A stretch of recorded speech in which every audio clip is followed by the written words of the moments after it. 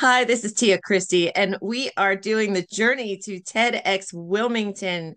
Yes, that is happening April 29th, and we have had the pleasure to speak with so many incredible minds. And I've got another one for you today, and it's one of my personal favorites. And I know I say that a lot, but I truly mean that when I say Dr. Larry Farwell is one of my dearest friends.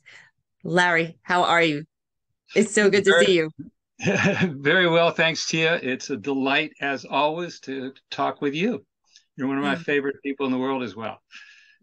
Thank you. That does. It means so much to me. And um, I have so much that I could say about you. I brag about you all the time, but I, I would love for you to share just a little bit about yourself uh, to our, our watchers. All right. Well, I am a neuroscientist. I've written a book. It actually became a number one best-selling book called The Science of Creating Miracles, Neuroscience, Quantum Physics, and Living the Life of Your Dreams. And the, the title says pretty much what the book is about. I've explored miracles from the perspective of science, from the perspective of neuroscience, using your brain to create what you desire in your life, and from the perspective of quantum physics in experiments I conducted in collaboration with my father, who is a nuclear physicist. And that's that's what I am going to be sharing here today and in TEDx. Nice. Okay. I told you he was brilliant. I'm telling you. Like it's just so interesting to talk with you. I like it's captivating all the time. Um so you are you're going to be sharing uh, about the miracles for TEDx. Is that is that what you're going down? Well, yes, uh, although science of creating miracles, in other words, people have a lot of different ideas about what a miracle is, but what I've done is to look at it from the perspective of science. And to give you an example, I was talking to my dad and we were at we were having lunch in a, in a restaurant. And I said, "Hey dad, anything is possible." And this is going to relate to what a miracle is. And he said, "Yeah, yes, yes, son uh, any imaginable configuration of quantum particle wave phenomena is possible. The whole universe is simply configurations of quantum particle wave phenomena. Any of those are possible. So yes, you're right. Anything is possible. So, okay. So it's possible that you and I, all the elementary particles that make up my body and your body and enough air to breathe would tunnel from here to the other side of the moon in an instant. And we carry on that conversation there. And he said, yes, that is possible. Tunneling is a known phenomenon in, in quantum mechanics where things move from one place to another without not having traversed the space in between or any barriers in between. So uh, she said, yes, that is possible. He got out a paper napkin and he wrote down a, a formula and he calculated the approximate probability that was going to happen. Actually, the probability was low. It didn't happen. We continued the conversation in the restaurant. But the point is that anything is possible. And all of us have dreams and aspirations that some people might say are impossible. Well, those are possible. And the, what I've explored is, well, how can we use, we use science to create those miracles? A miracle used to be thought of something contrary to laws of, of nature, contrary to laws of science. Actually, a miracle is simply something that's extremely improbable, so much that people would think it wouldn't happen.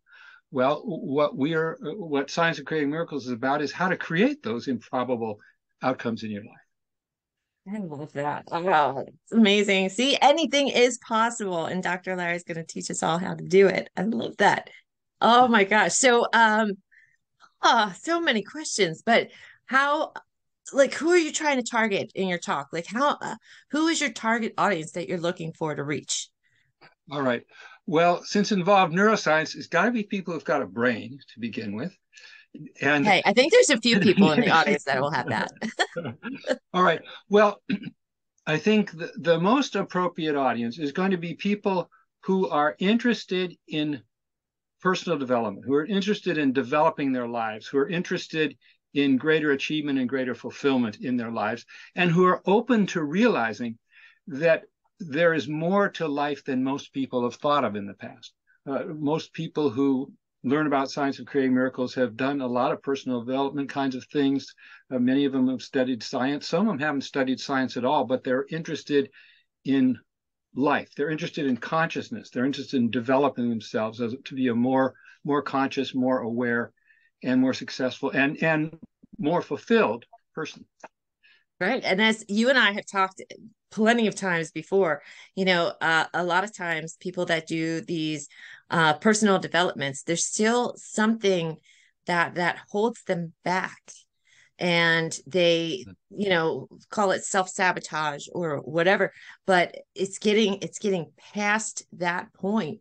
So then you are able to welcome the miracle to come in and i yeah. i just i love that i love that you uh discuss that will you be uh mentioning how to work through that as well yes i'll be i'll be talking about exactly that and uh, let me geek out for a minute on what the what the physical universe is because it's actually I love when you geek out. it's actually different than it looks. So this table in front of me, it looks solid, hard, and brown, and you can hear me knocking on it here. If you look more closely, it's actually not solid at all. It's mostly empty space, and there are molecules moving around really fast. You look within those, you see atoms. Within those, you see elementary particles, protons, neutrons, and electrons. You look within those, you see quarks. You go down to the string theory level, and you see basically vibrating strings. Well, what is vibrating is the unified field. And the, the unified field is the, the, the field of potential that everything springs from. So this table isn't all that different from the everything else around it. It's simply a pattern in the unified field. Now, all of the great spiritual traditions say, well, this unified field that gives rise to everything in the physical creation is the same as the inner field of pure consciousness that we can contact within ourselves. It's the same as your essential nature. So, how do we bring something so cosmic as that into the scientific realm? I think everyone's had experiences, and, and you, you and I have discussed these, some of them, that where, for example, you're thinking, oh, I'd really like to hear from Joe. And then the phone's ringing and it's Joe. So, okay. you know, did you have some effect on creation there? Did you tune in at some subtle level? We don't know because you don't know the probabilities. Well, we do know the probability of alpha particle emission by plutonium. So plutonium is one of the major ingredients of an atomic bomb. So we decided to test, okay, if it's really the case that our inner essence of life, our inner field of pure consciousness is the same as the conscious unified field that rises up in particle wave phenomena to make the universe, we ought to be able to make a difference in the universe that's measurable, even down to a quantum mechanical level. So we tested that in the scientific laboratory with alpha particle emission by plutonium. And we found that we could create, remember, a miracle is not impossible, it's extremely unlikely. We created extremely improbable events, quantum mechanical events, by shifting the probability distribution of alpha particle emission by plutonium. Now, few people get up in the morning and think, I'd really like to be able to shift the probability distribution of quantum of, of uh, alpha particle emission by plutonium. But people do want to create the life of their dreams. And it, it's the way we create our lives. It's like if you have a guitar, I love to sing and play guitar. You pluck a string on the guitar, it vibrates at a particular resonant frequency other instruments in the environment pick up that resonance and they begin vibrating too. That's how we create our lives. We create a resonant frequency on the level of our consciousness. And that is the conscious unified field. So in the environment, uh, things, people, things, events come our way that resonate with what we resonated with within.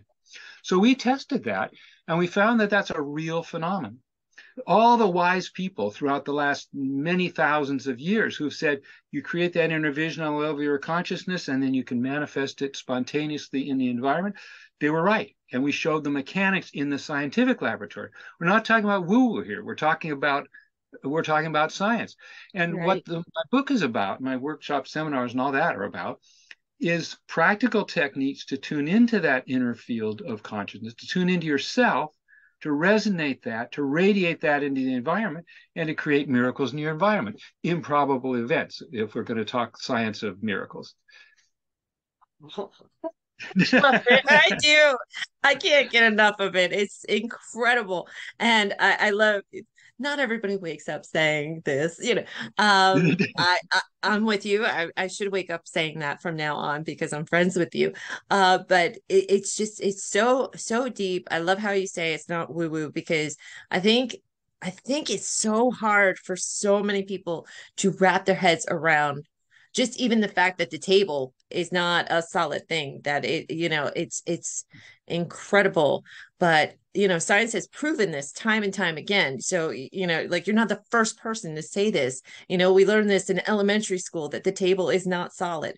Um mm-hmm. just the fact that you could take this and figure out the probability like i i can't even i can't even go to where your mind goes sometimes like it's just so incredible but one thing that i love about you too is that um you know people might be watching this and saying i i don't know if i'm going to understand I promise you, Dr. Larry is going to throw out a lot of things and you're going to be like, huh?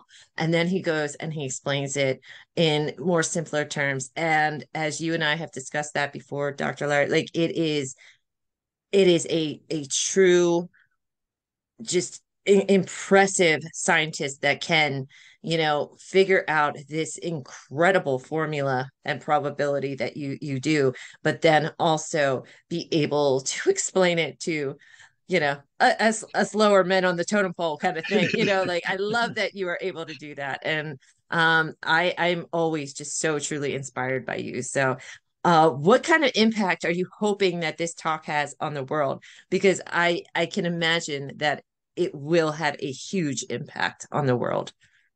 Yes, I hope so. What I'm uh, shooting for, what I'm hoping for, is that it will open people's minds to the reality that they actually can create miracles in, in their lives and just listening to my talk is actually not sufficient to be able to do that.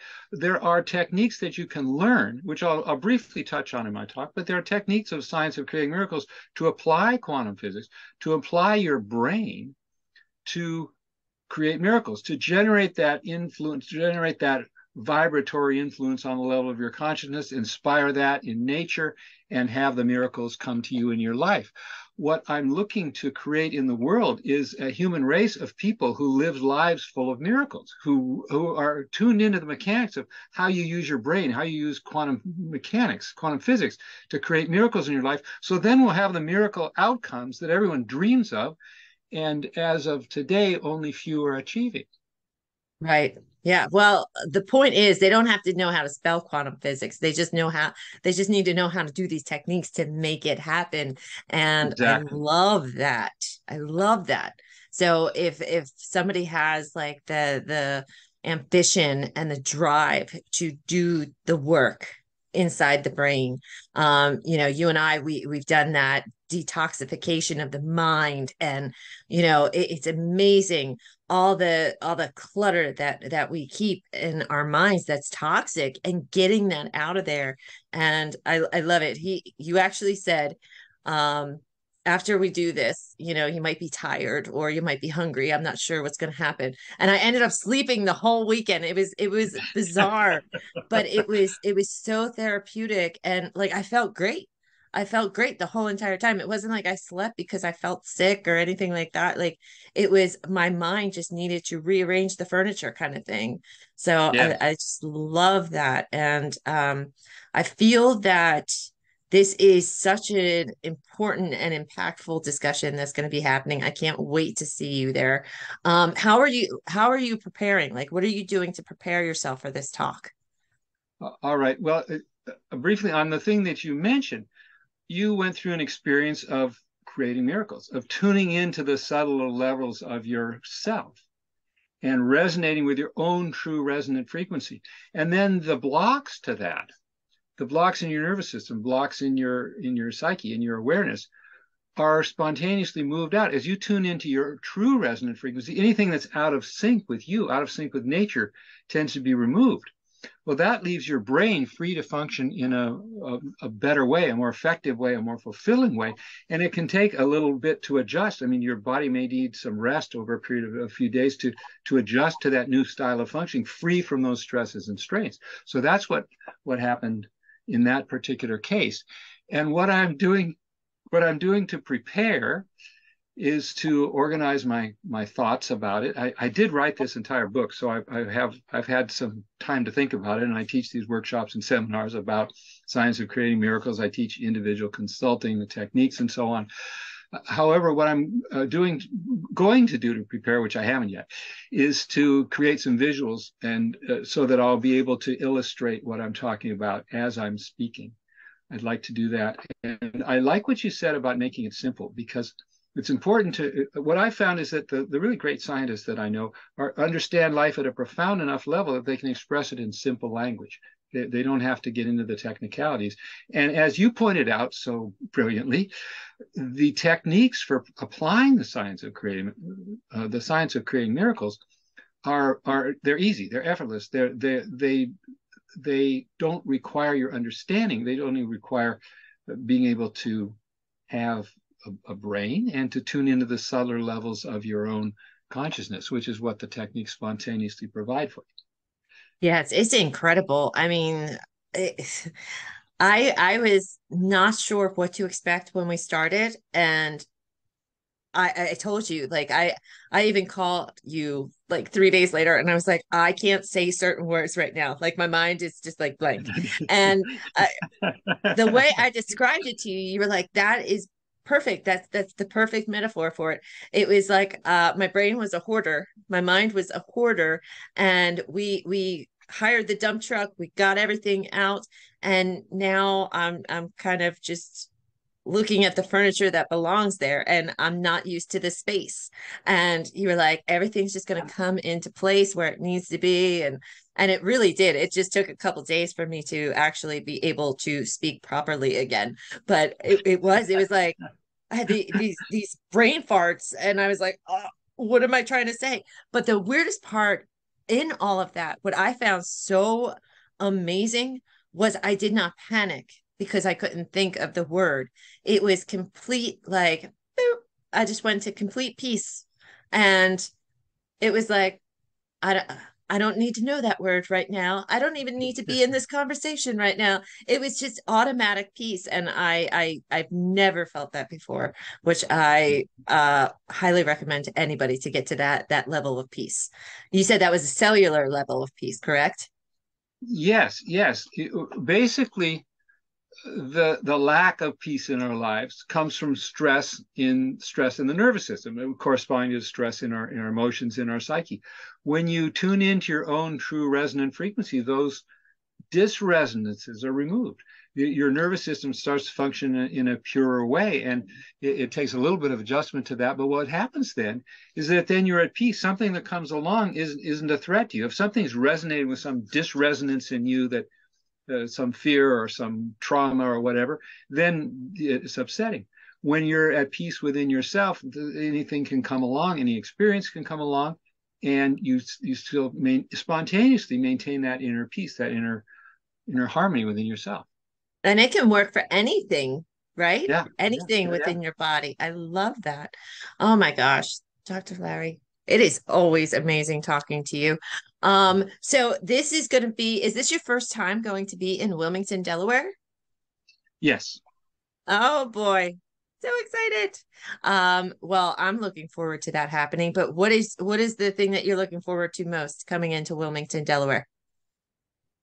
Well, I'd have to say one of the things I'm looking forward to to most, of course, is seeing you, Tia.